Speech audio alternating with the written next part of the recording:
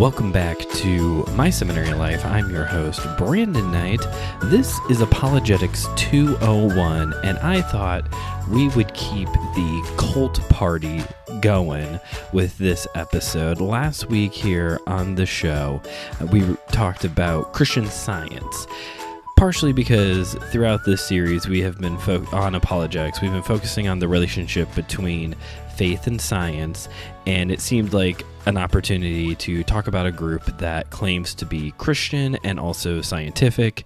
And if you listen to the episode you will discover it's not really either one of those. But also earlier this week it was the promo for the upcoming summer school series in june on the topic of cults dropped. So I thought it would be good if we continue to build hype for next month's series and to keep this apologetics conversation going by talking about today. So, what do you do if you do? Run into somebody who's in a cult. What do you do? How what do you say? How do you interact with somebody who may be or is part of a cult. What should you do in that scenario? And that's what I spent some time researching this week. And we're going to talk about a few key things to keep in mind if you end up talking to a cult, uh, somebody who is in a cult. And initially, you may think to yourself, Brandon, seriously, am I really going to run into people who are a part of a cult? It does depend on how broadly you define what a cult is, which is one of the key things to keep in mind is how do you define a cult? Because I have met people who their definition of a cult is so that they would say that the Catholic Church is a cult because of their veneration of Mary.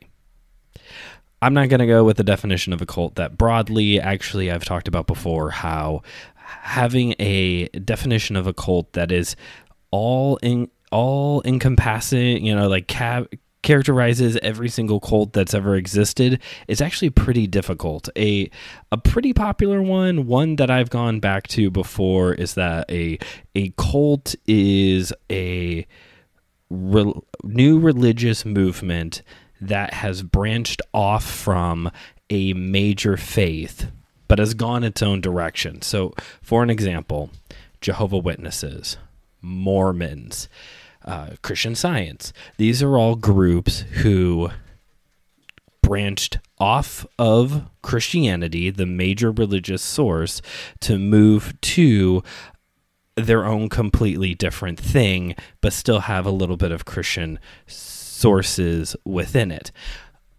also, another example, because it's not always just Christianity, another example would be the Nation of Islam. The Nation of Islam is a cult that splintered off from Islam. They are two different things. They are not the same thing. They are two different things. The Nation of Islam is a cult that split off from the main religious source of Islam.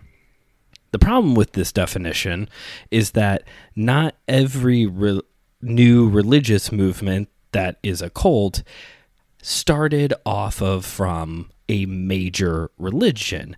Examples of that would be Scientology or NXIVM. These groups are more so splintering off from pseudopsychology, not a religious movement. They're from what is supposed to be an alternative form of mental health care. Um, they're not.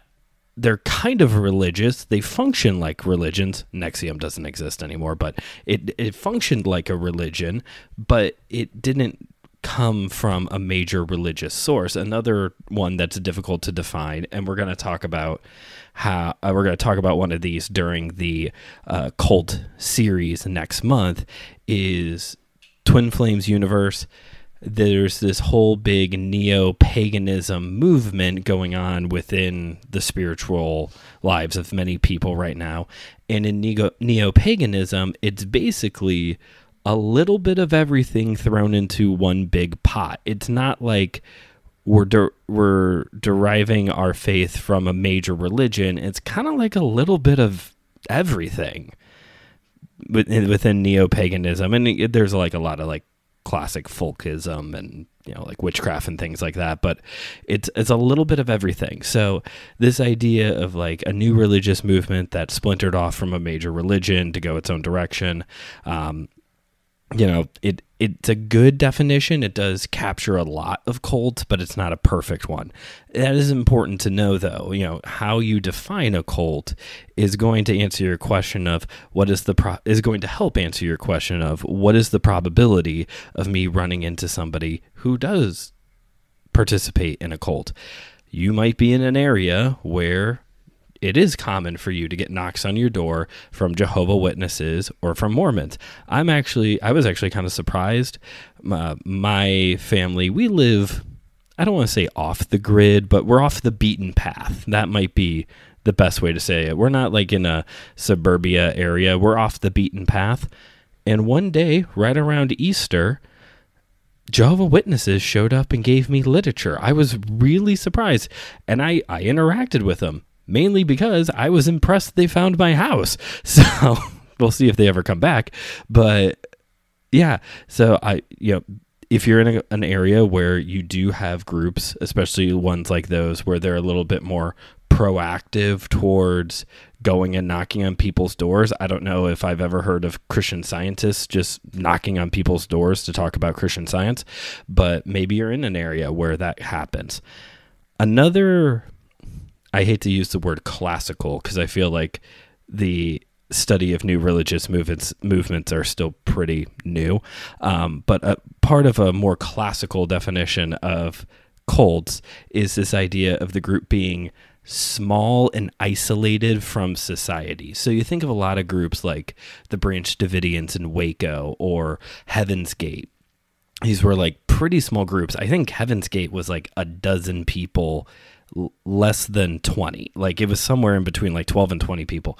Um, you have like heaven's gate or the branch davidians where it's like this small group off the beaten path um, jonestown was a pretty big group of people but you know they they ran down to i think it's guyana is where they ended up at um, just trying to like escape society, you know, and that used to be a big part of the classical definition of cults. And I do think that there is some merit to that part of the definition of this like small kind of fringe group. Um, there was a really good documentary I just watched recently on Hulu. It's not an original I, to Hulu. I think it's from A and E originally. It's called Cult Justice, and uh, the show chronicles situations where families were able to get justice for you know the the injustices that they experience while being a part of a cult so it was a, it was a nice show to have like a like a good moral victory at the end of each episode. But one of the reasons I really liked this show is that it didn't just deal with the major ones. There's plenty of documentaries about Waco, Jonestown, Heaven's Gate, NXIVM. Oh my gosh, there's so many NXIVM documentaries. Um, but this show dealt i think it was like eight maybe nine episodes in this series like one season long. Every episode was a different cult. Every one of them i had never heard of. And each one of these were really like very small groups. I think there was like one or two that was like oh this is actually like a pretty big group. I'm surprised i've never heard of them. Um, but the majority of them were these really small kind of fringe groups in a small, seemingly normal town. So I do think that there is some merit to this classical element of like fringe, isolated group. Don't be don't don't think that your small town may not be the home to a cult. Like it is very possible that your small suburban town may have a group that is a bit more fringe. There is a gathering of people. I don't want to call it a church. There is a gathering of people within 20 minutes or so of my house who they're not messianic Jewish people. Um, meaning that they are, uh, you know, Messianic Jews are uh, Jewish people who have acknowledged Jesus as Messiah, but they still retain a lot of their cultural practices because it's part of their cultural identity. Um, they're not that, but they're like this group of people who are Christians, not Jewish people who, believe in Jesus, but just Gentile Christians, but they practice the Jewish law. They have very restrictive views on worship and, um, you know, not just like we only sing the Psalms, but like we only sing songs that our pastor writes. And it's very like hyper monitoring everything that goes on and anything outside of their group is unbiblical which is another common trait that shows up within cults is it's another important thing to understand is that not only are they fringe and isolated but they believe in like absolute exclusivity. Um like we believe in the exclusivity of jesus unless you're a universalist. Um for those who don't, we believe in the exclusivity of Jesus, and uh, they believe in the exclu- cultists believe in the exclusivity of their group, um, and Jesus may be a part of that group, or it may be a person claiming to be Jesus. Um,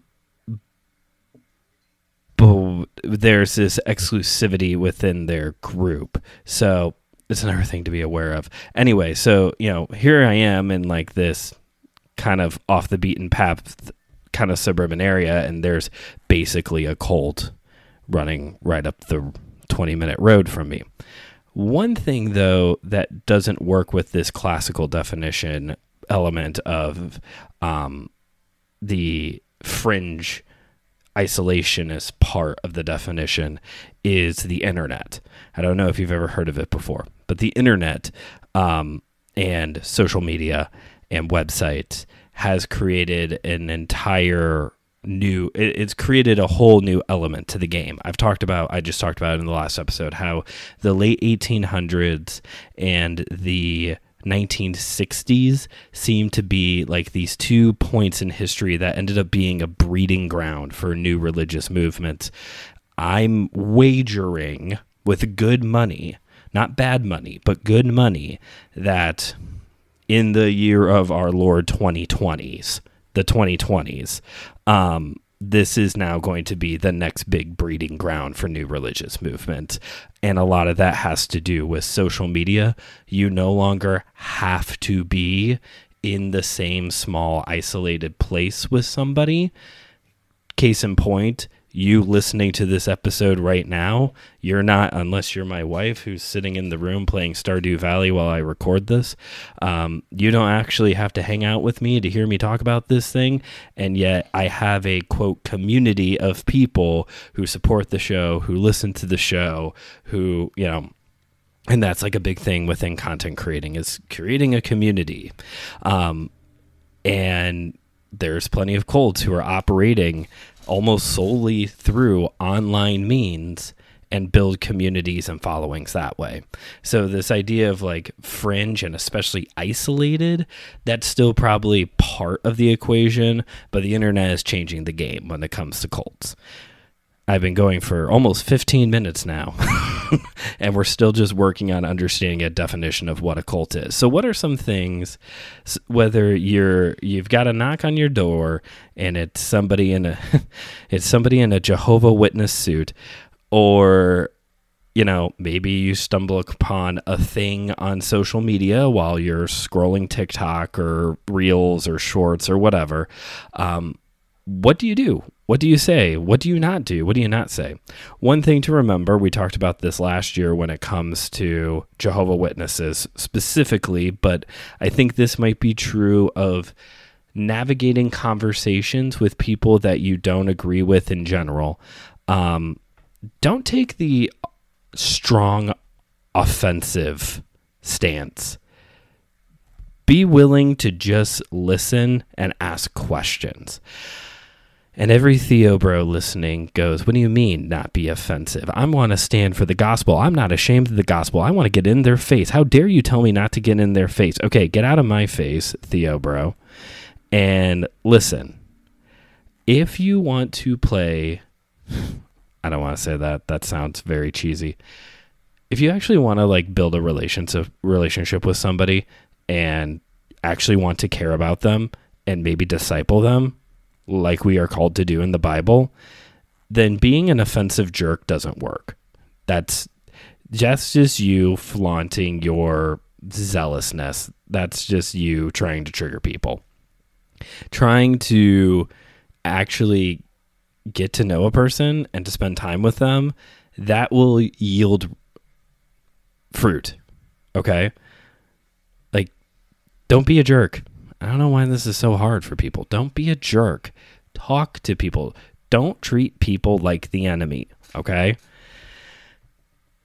And especially when it comes to the case of like Jehovah Witnesses, and I think this is also true of people who are Mormons, is that if you take that more offensive stance, they'll stop coming. So if you just want to not be bothered, bring up the Trinity. You don't want to be bothered by them? Challenge them on the Trinity. They won't come back. But if you actually want to build a relationship with someone who is also a human being, then you need to listen and ask questions. Don't go in hard even on the questions, just clarify things. And as you build that relationship, then you can have heftier conversations with people. Okay. So let's start there with don't be a jerk. no, understand what a definition of a cult is and don't be a jerk. Okay. Step three, know your Bible and pray. Real basic stuff here, right? Understand what a cult is. Don't be a jerk. Pray. Know your Bible well. Okay. We got like a lot of the like basics. I shouldn't have to explain the basics, but here I am explaining the basics you know, go back and remember, go back and check out the episode, the relationship between faith, reason, and the Holy Spirit when it comes to apologetics. Understand, like, the Holy Spirit is playing a, a role, a huge role in this con- in this uh, conversation that you may be having with someone who's a part of a cult. Another thing is to understand the basic teachings of the cult, but also not to assume that that person you are talking to believes everything about that cult. Okay. There are people out there who are going to be like, you know, 100% sold out for whatever their religion may be. Okay. Um, but that's, you know, we have people in Christianity, you know, there are plenty of Christians who don't agree about things, even though we're all claiming to follow the same guy. And, you know, depending on the kind of um, depending on the type of cult that you may be dealing with, you may find a little bit of like, you know, differing views on things. It does help, as I have done in these episodes when we talk about cults, to have a basic general understanding of what they teach, what they believe. How do you find out what somebody ha- believes? Ask them. Ask them questions. Tr- be willing to learn. Being willing to learn doesn't mean that you're ashamed of the gospel. Okay? Being willing to learn is respectful toward someone. It's beneficial to you as a human just for personal growth. And it will help you to navigate a conversation. So, if you're not an expert on a religion, on whatever the cult may be, and someone's knocking on your door, ask them to explain the basics of their religion to you. Also, Google is free. Google will help you with some of those basics. Again, don't assume that every cultist all believe the same thing. There may be a little bit of, you know, some give and take here and there, but there are ways to find out the basics. And again, one good way to find out the basics is not to be a jerk and to ask questions.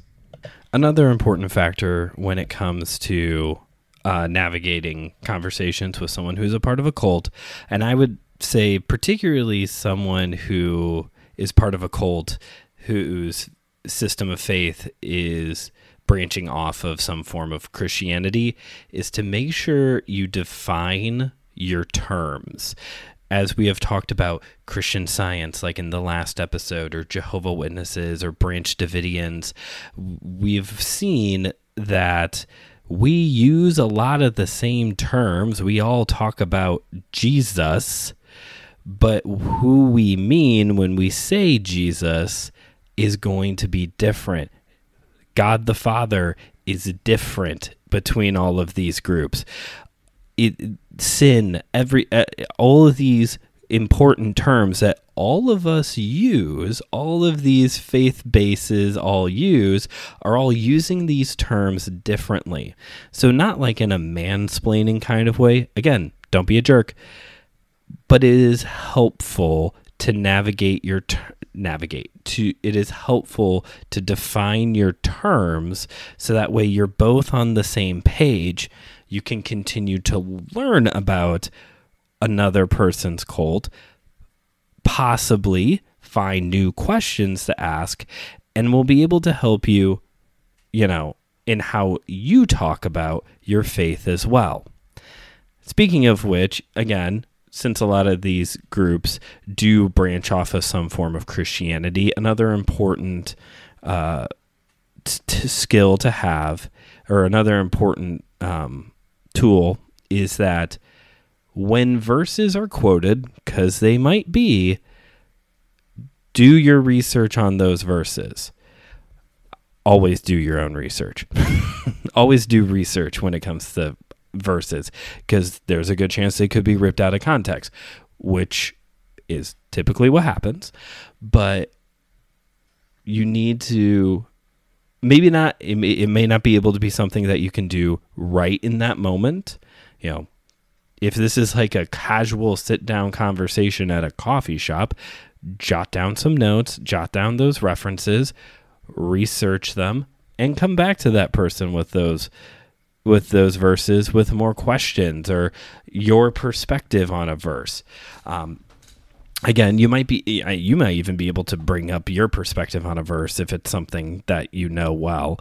Um, you know, if they are taking John 14, 6 to mean something that's way left field, you might be able to bring your perspective on that verse. But always look up how a verse is being used and don't just assume they're using it's kind of like the terms thing don't just assume what they mean by John 3:16 is what you mean by John 3:16. Understand each other. You know, I, I, talked about back in March when I was uh, giving some of my thoughts on Dianetics that it was like reading another language there's just all these different terms that mean different things and there's like this huge glossary in the back of the book. It's it's so it was it was uh, truly it was like reading another language. I felt so lost. Um i felt so lost trying to read that book. So it is helpful to define terms so that way you just stay on the same page. You probably won't agree with how the terms or the Bible verses are being used, but just so that way this would be, you know, defining terms. Even uh, you know just step outside of the realm of apologetics and evangelism for a second and just normal everyday life. Defining terms brings good communication. And we want good communication because when there is good communication, people are happy. Things get done.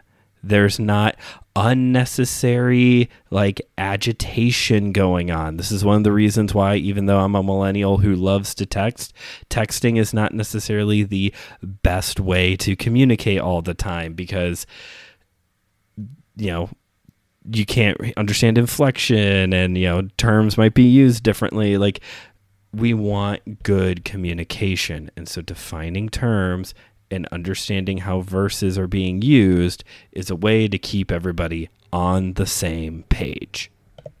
Another important thing to keep in mind is like Dragnet used to say, just the facts, ma'am.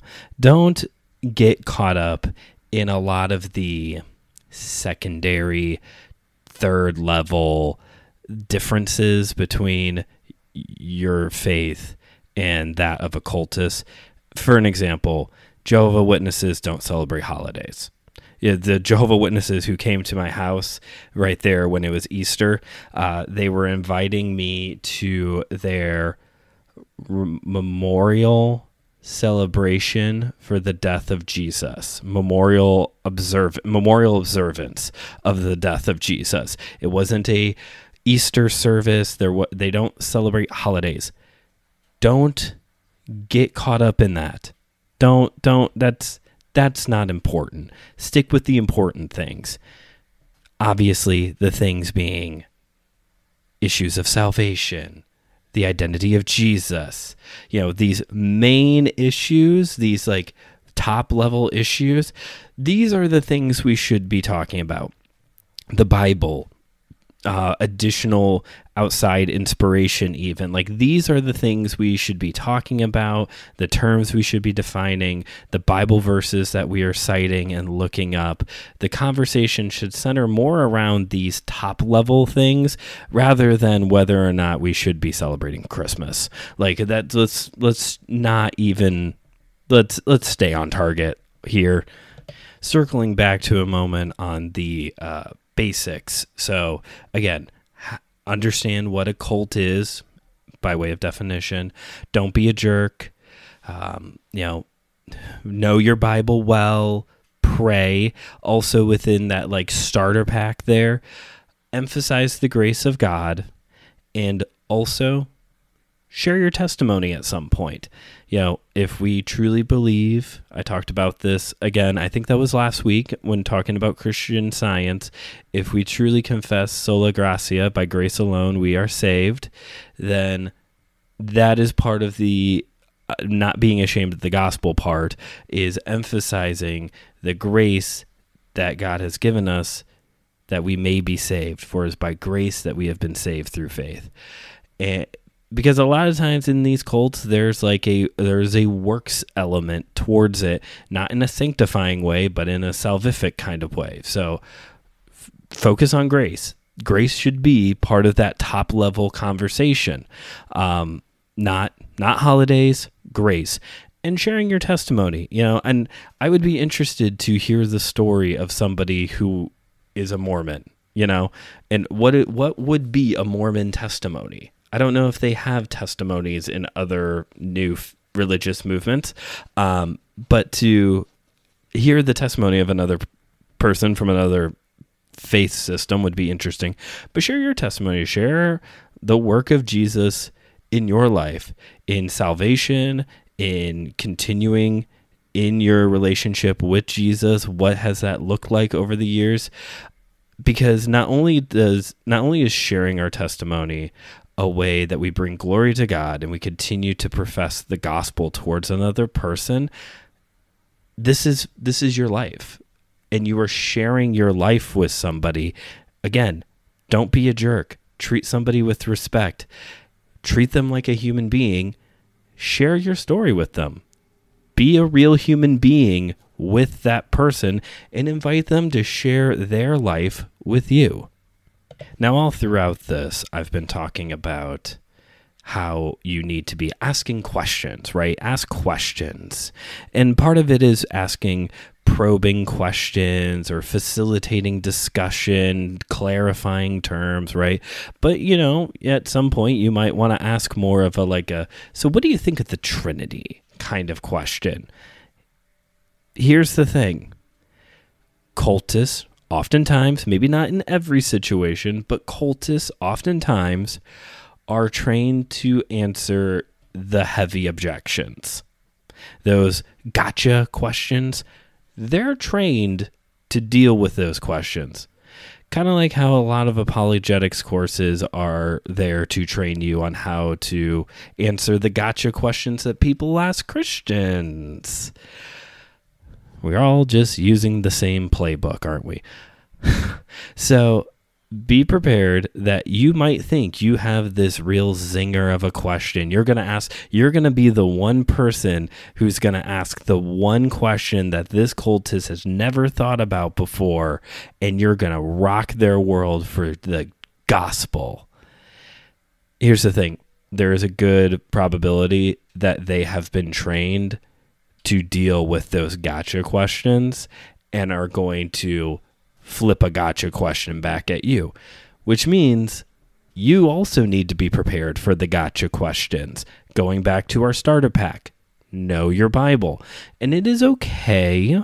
I will say this it is okay that if in the moment you don't have an answer, I, I do believe that the Holy Spirit illuminates the truth of God's word in our lives. So there may be times where we're not prepared to answer and we have something, but you're also a human. So it is also very probable that there will be a time where you don't have the answer at the moment, and that's okay.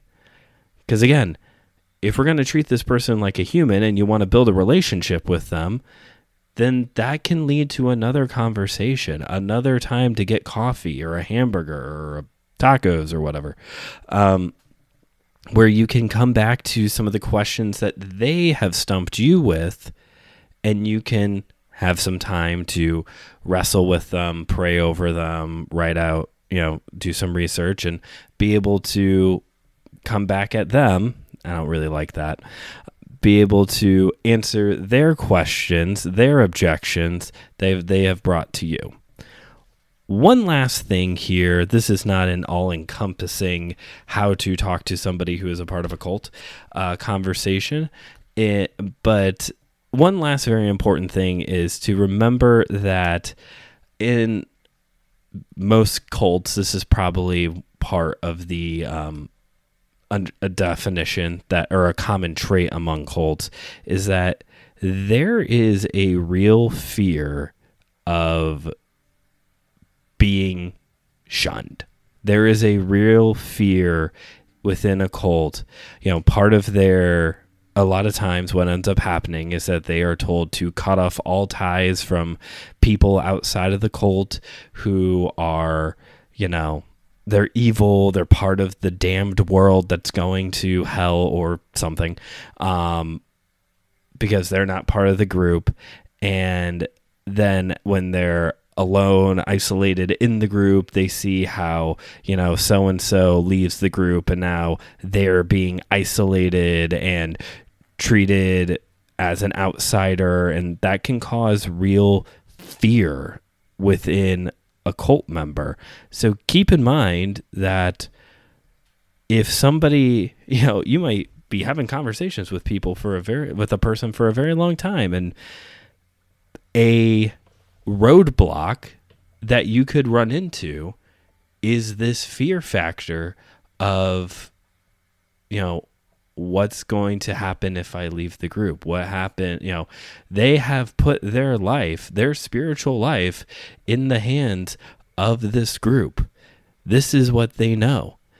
And if the group is telling them, if you leave the group, you're damned, then that is going to be a big spiritual hoop that they're going to have to go through and also probably get counseling for that um, will possibly keep them from surrendering their life to Jesus, to acknowledging Jesus as Lord. Like this is this is a reality. This is a factor, you know.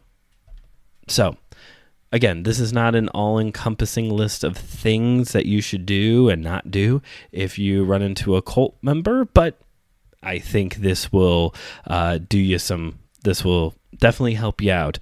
And again, uh, coming back to the definition part that happened 20 something minutes ago now, um, keep in mind that a bit there, the internet is changing the game. So keep the etiquette of social media in mind, you know, which also, which is code for again, don't be a jerk.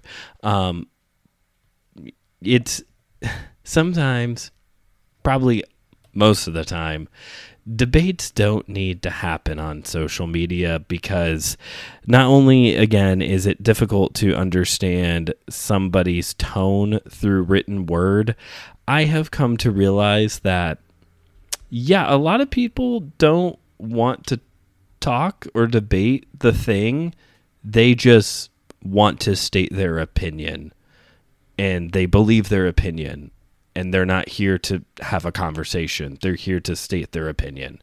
Like one thing that comes up in content creating is like whether the comment is good or bad, you should interact with every comment because then you can trick the algorithm into thinking you have an interesting thing that more people need to listen to or watch.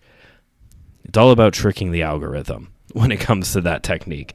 And I have, you know, I've tried. I, I have tried and I've gotten a little bit better at navigating negative comments.